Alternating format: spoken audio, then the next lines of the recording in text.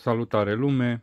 Iată că am revenit cu un episod nou Hello Comics, încă o tură de precomenzi sosită recent, uh, câteva serii noi, serii ongoing, ca de obicei.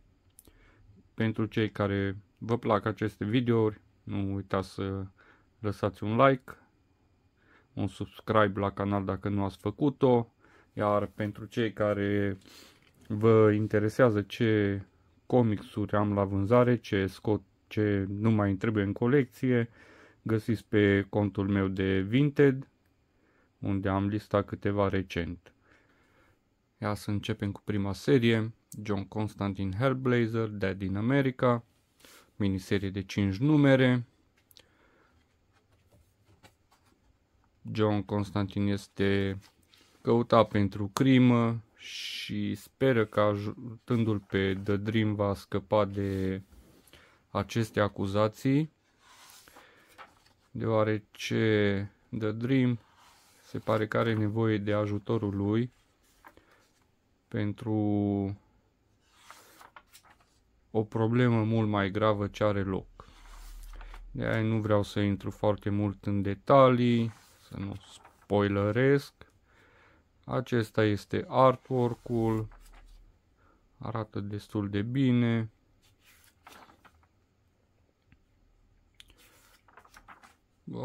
Chiar așteptam seria asta. Și deși am zis că nu mă mai abonez la serii de la DC, dar am zis că hai să mă abonez la aceasta. Pentru că e o miniserie. Nu e ceva ongoing. Cam aceasta este revista. Pe spate avem și o reclamă la Suicide Squad, Kill the Justice League. Revista vă puteți comanda de la comic shop-uri sau așteptați volumul să apară când se va termina seria. Crashdown, tot o miniserie de la editura Whatnot, se pare că pământul este mort, iar uh, o navă de coloniști va încerca să repopuleze planeta Empyrean, dar se pare că vor avea dificultăți să facă asta. Uh, este o miniserie o editură care nu am auzit. Artwork-ul arată destul de ok. Interesant. Cred că e editură destul de nouă.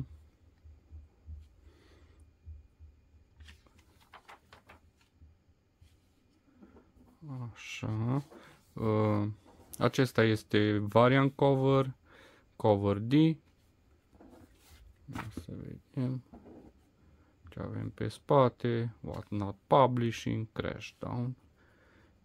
Nu mai știu serii de la ei, dar putem vedea aici pe spate, Ninja Funk, uh, ce mai avem? Variant cover-urile, cover galerii.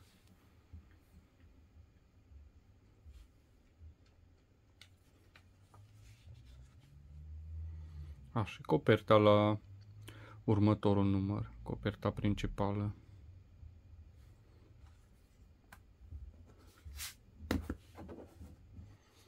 Cinderella, Princess of Death, este un one-shot de la Zenescope. Cinderella va prelua locul lui Zeres, zeița morții și evident că nu se pot întâmpla lucruri bune. Este un număr special în care cele două se vor confrunta. Un artwork în stilul obișnuit Zenescope cu coperțile la fel de sexy ca de obicei. Arată destul de bine. Așa. Uh, bun, celelalte variant cover-uri. Coperta din spate. Și aceasta este cover B. Am spus, serie limitată, de fapt, număr, număr one shot. Da, arată destul de bine.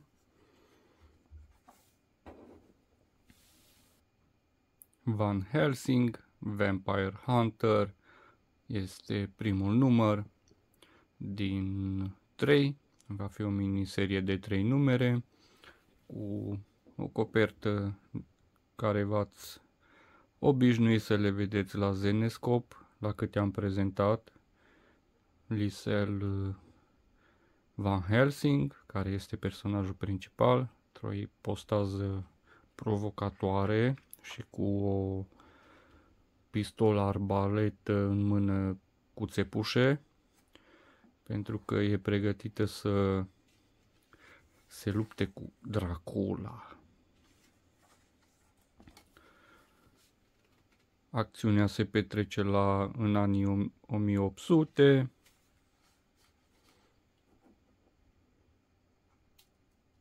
Artwork-ul ca de obicei, stilul Zenescop, dar nu, nu zic că e arată rău sau ceva, chiar stil plăcut și personajele toate care de care mai interesante.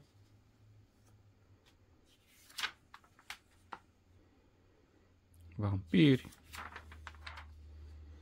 Așa, cum am spus.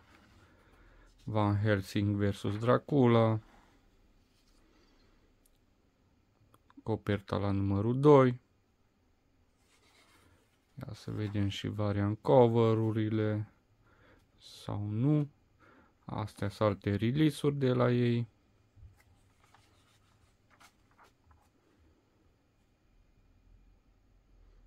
Graphic novel. Da, sunt destul de multe serii. E destul de greu să le completez pe toate. Și niște statuete super. chiar super statuetele astea, numai 999 de dolari în grafic cu ele pe buget am să comand vreo 3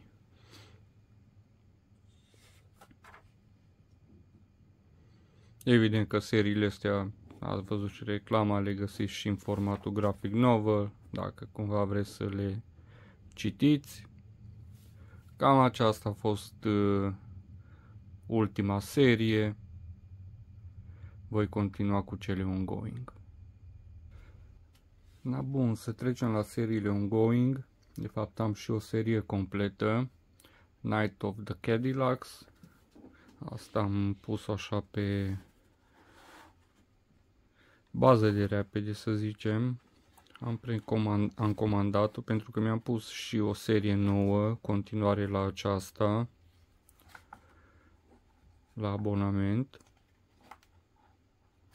Nu o să intru în detalii, probabil după ce o să citesc o să-i fac o prezentare de la Scout Comics, numărul 1 și numărul 2. Interesant. Un Fearless Down. Serie ongoing. Aproape de final. Cam greu a venit numerele astea. Numărul 3.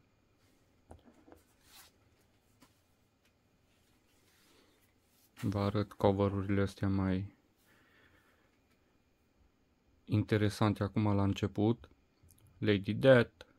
Cred că acesta este un variant cover Cybernetic uh, Desecration, numărul 2. Un Conan, numărul 7.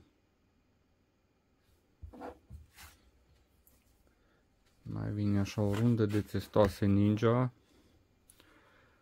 Numărul 9. Numărul 10 uh, e și număr aniversar 25 de ani de IDV editura care le publică coverul destul de fain.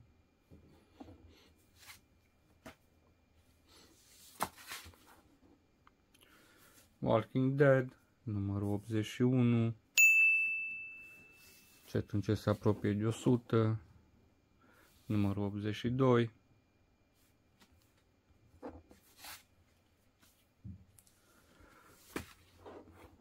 un Blade Runner.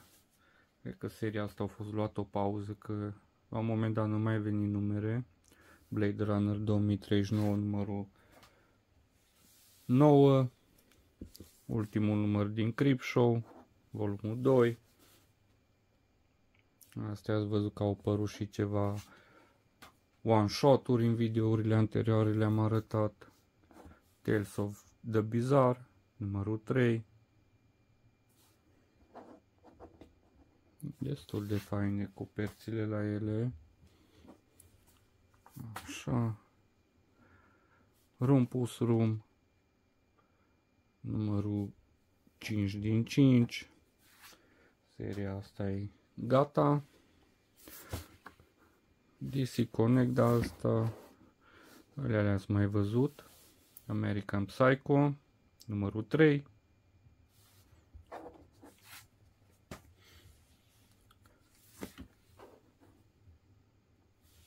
Ribbon Queen 7 din 8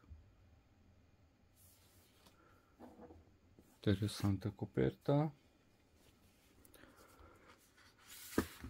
Cam multe serii horror aici Double Feature Nightfall numărul 4 de la Vault Two Feature Stories Horror, am spus. Multe horroruri. Battle Action numărul 5 impresia că e ultimul numărul din serie. Ultimul număr din serie. Astea sal negru. Le-am mai prezentat așa și ultima revistă din acest episod este Judge Dredd Magazine o revistă destul de mare ca număr de pagini, mai multe povești, interviuri, etc.